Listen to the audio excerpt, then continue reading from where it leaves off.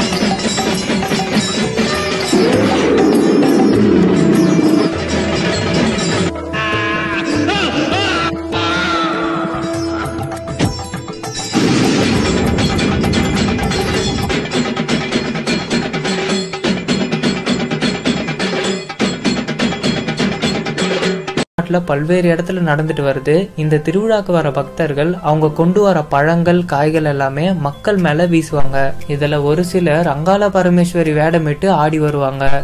இதில் ஆக்ரோஷமான விஷயம் என்னன்னா சுடுகாட்டுக்கு போய் அந்த மண்ணில் ஒரு உருவம் செய்வாங்க. அந்த உருவத்துக்குள்ள ஆட்டோட மாமிசம் குடல் எல்லாத்தையும் பச்சையாவே புதைச்சி வைப்பாங்க. அப்போ அந்த காளி வேஷமிட்டு வரவர் அந்த மண் உருவத்தை கிழிச்சு அதுக்குள்ள இருக்க ஆட்டு மாமிசத்தையும் குடலையும் தான் வாயால கடிச்சு தூக்கி எறிவாரு.